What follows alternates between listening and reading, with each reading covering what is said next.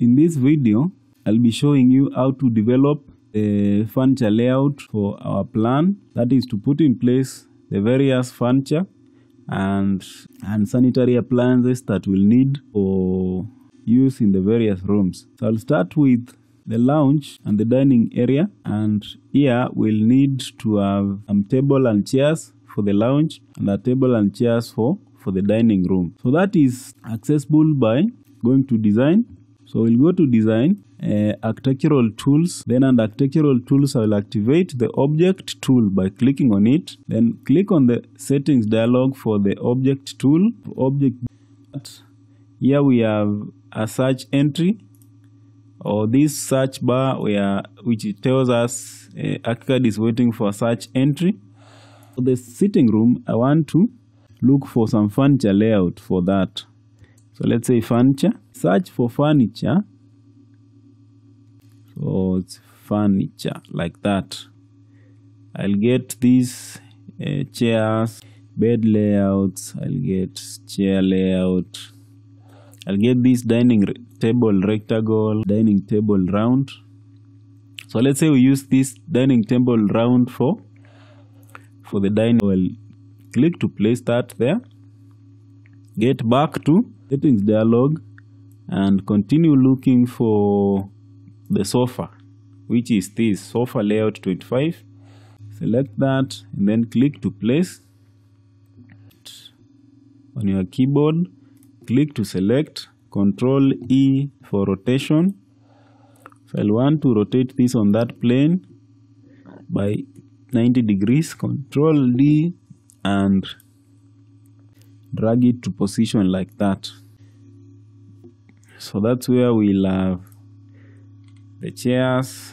This dining uh, of ours is going to move a bit towards that side. So the dining. So the dining i want to select the text. Dining is there. So move the text a bit towards that side so if you look at the plan we have already we have now uh, tables and chairs for the lounge tables and chairs table and chair for for the dining room. Let's move to the kitchen area. In the kitchen area here we want to have a worktop and I'll designate that by use a line tool. So under the document documenting tools I'll activate the line tool. Change this pen to number one. Then the width of this worktop is supposed to be 600 millimeters. It's going to extend up to there. I'm going to move this uh, window downwards by let's say 100 like that. So this extends up to here. Then we have another one joining so we trim those lines and trim these lines as well. And we'll have let's say shift uh, move drag a copy up to there then draw a line that way. And so that's the layout of the worktop in the kitchen. We have this uh, storage space here. So designate this using a line. So here we have a cupboard at this point. Here we have general worktop. So for that worktop we are going to have uh, what do we have a sink. So search for sink. Say we'll have that sink this is okay double double kitchen sink. Uh, place this where where do you place that? Let's say we have sink there. And then for cooktops. Search cook built-in cooktops place them here. So we'll be cooking from that point. Where we have these let's position them accurately like that so we have cooktops there. Move them a bit towards the left side. Then control E like that. Then rotate this sink that way and place it here. So that's where we have the sink. When you're washing utensils you are looking to the outside like that. So we are done with the the kitchen. Let's move to bedroom number one. So for bedroom number one all we need is is um, a bed. So back to settings dialog for the object tool and search for bed. We're going to get let's say furniture want the on the bed layout. This one 25 okay so that is going to be part of bedroom one bedroom uh, two and the master bedroom. So i place them there. Select these two. Control m is for mirror. So i'll mirror them towards those areas. So like that. Control d. Allowing me to move that bed towards the wall. So select that bed uh, right click choose to drag. I'll also drag this to that point. So we have beds for a master bedroom and bedroom number two. Then I'll also have to move this towards that point. Let's say control or right click and I move choose rotate sorry right click move choose rotate. Then you rotate it like that. Control D for drag drag it to position here. So that's our bedroom one bedroom two bedroom three. Let's put in place some built-in wardrobes so i'll designate that with uh, just a wall. So back to the wall tool. Draw a wall here 600 millimeters like that. Then i'll draw another wall here 600 millimeters. So like that. Have a wall here towards that side by 600 then select them. Go to the settings dialog. Choose thickness to 100 that is under geometry and positioning under floor plan settings. And uh, let's look at cut surfaces. We have override cut fill pens. Set as none. Click on this arrow and set as both. And then change the cut fill foreground pen for that to be pen 1 and background pen to be 1 click on ok and you'll see those adjustments appear on uh, your plan. So I want to have choose a line. I want to have from this uh, 1 meter. A meter is too much eh? let's have 600 so that means I'll drag this wall up to here. And then I'll choose to have a line here to show that is where I have my wardrobe. Just as simple as that because we are doing 2D 2D drawings. So when that is in place can choose to copy this control let's say right click move drag a copy. So drag a copy here. And then right click select to activate tool then type here.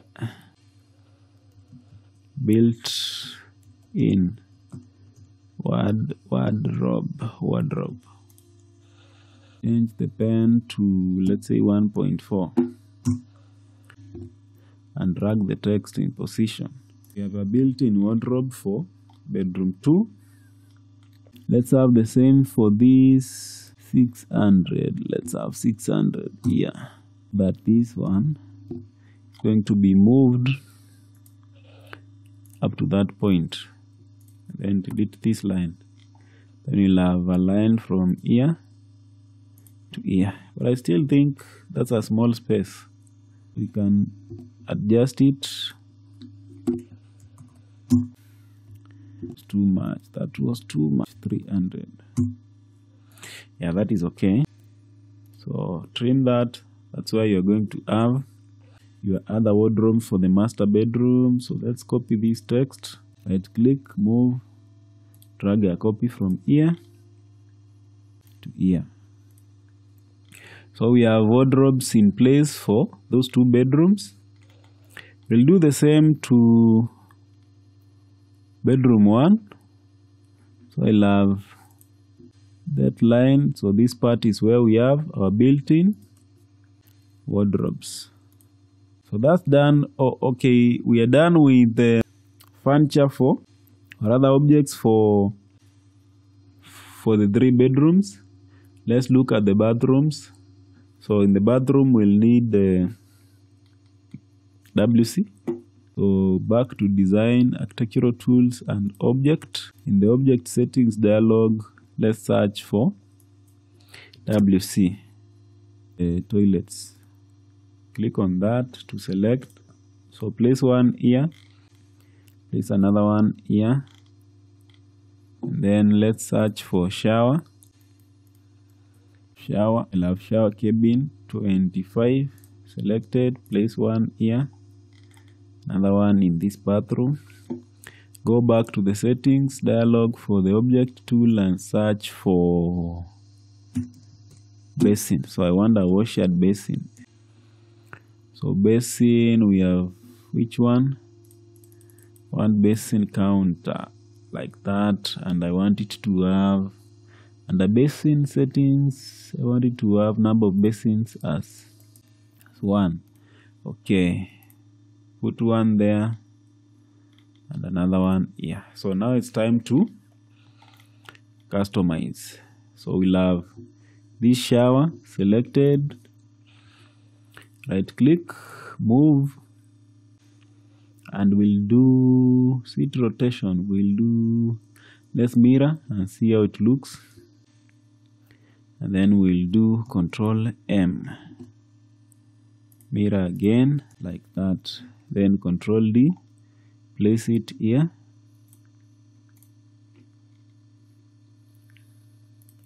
Move the window a bit towards this side.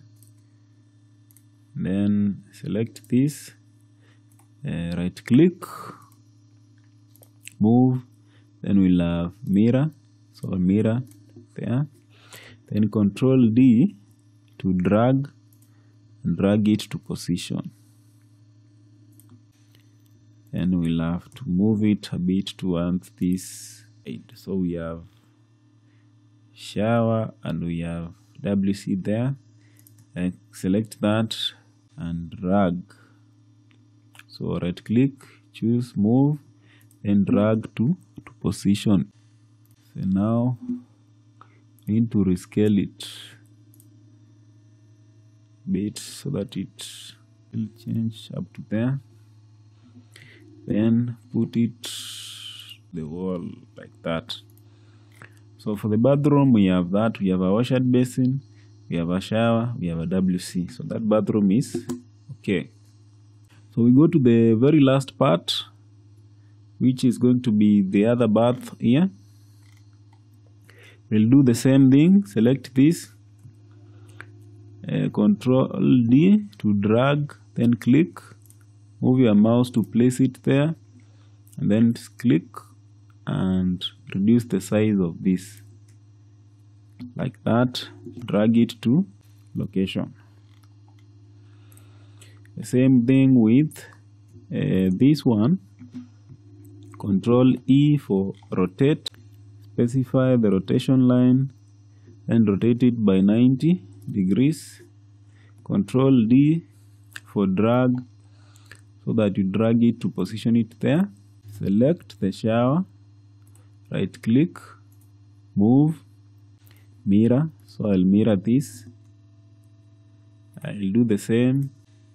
Mirror. Mirror it to like that. Then control D. And place it at that point. So that we have we have the and basin, we have the shower, and we have the WC in place.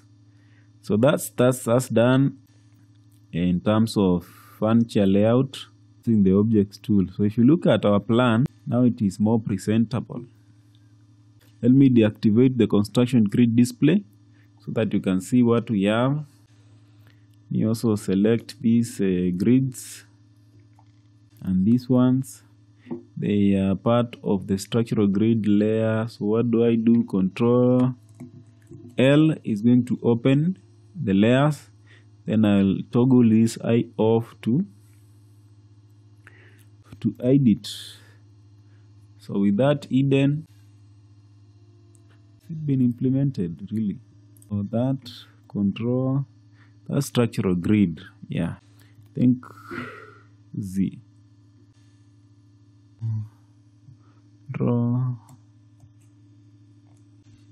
so I think what we've done in the interior furniture layer so let's unhide it like that. All we need to do is control L and look for look for the grid structural grid here hide it so I'll get to see our plan as it, it is now appears like that. So we have furniture in place. So the next video I'll show you how to dimension the floor plan before we export this to a PDF and uh, an image file for sharing